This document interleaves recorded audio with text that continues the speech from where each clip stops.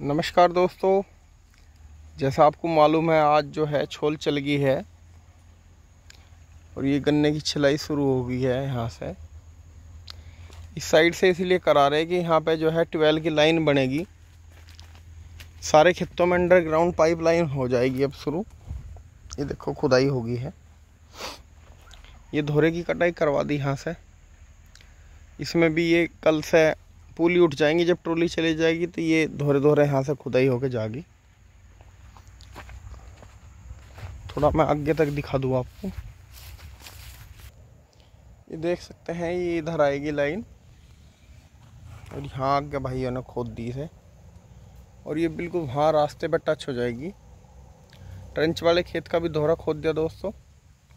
ये करीब ज़मीन से दो ढाई फुट रखी जाएगी। इसमें एक तरफ़ ड्रिप पाइप लगेंगे,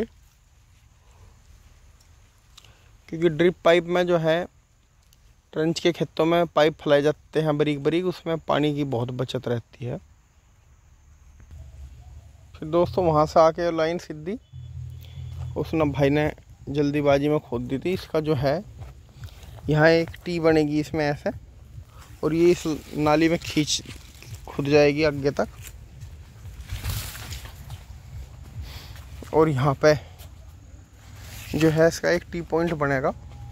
ऐसे आकर और यहाँ कोने पे वाल लग जाएगा एक, जिससे कि इसको लब्बे में पानी डल जाएगा। और वो आप सीधा बिल्कुल नाक की सीधी है, बिल्कुल ऐसे सीधी हो जाएगी।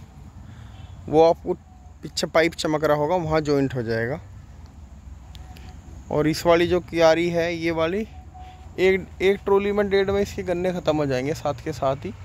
इसमें हम घर की क्यारी बनाना सोच रहे जिसमें कि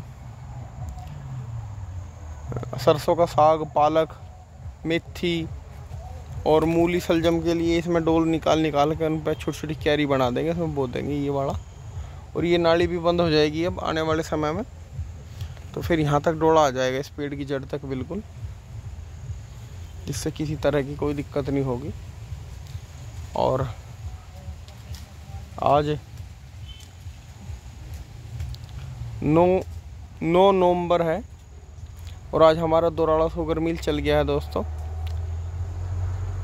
और सभी किसान भाई अपना जो है गन्ना का सीज़न बड़े हिसाब से शुरू करें, आराम से गन्ने डाल लें।